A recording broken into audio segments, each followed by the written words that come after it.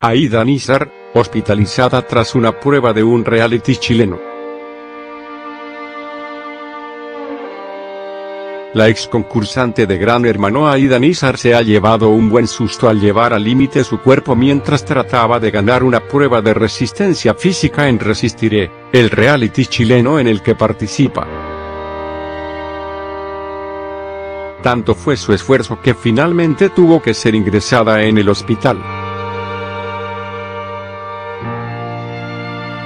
Fueron los responsables del programa quienes decidieron llevarla a un centro sanitario de Santiago de Chile al ver lo mal que se sentía tras haber aguantado la respiración con la cabeza dentro de un barreño lleno de agua durante demasiado tiempo.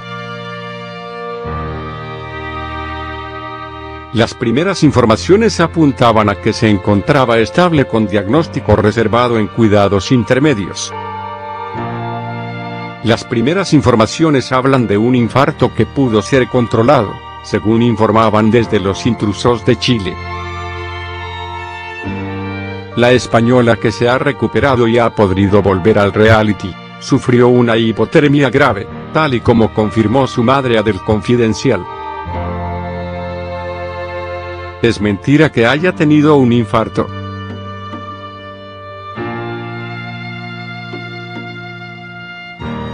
He estado constantemente informada de su estado de salud y gracias a Dios ya está bien. Ha sido tan solo un susto, pero hasta que no han comprobado que se encontraba realmente bien no le han dado el alta, confirmaba.